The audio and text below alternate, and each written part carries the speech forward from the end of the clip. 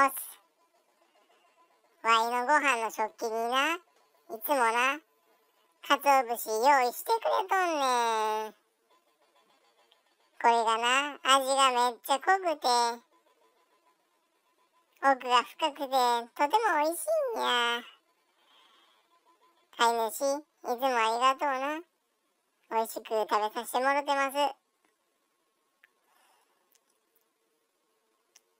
いろんな鰹節これまで食わしてくれたけど、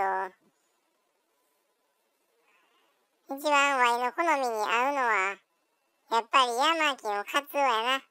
あの鰹節が一番美味しい。飼い主はそれを見て、ある時から山木ばっかり買うてきてくれる。嬉しいよ、ありがとう。でもな、わいな、いくら好みの鰹節やからって、ずっと同じのばっかり食べてたら飽きるねん。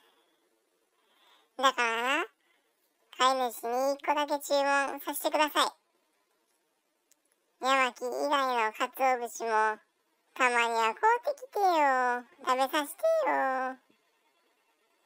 お願いします。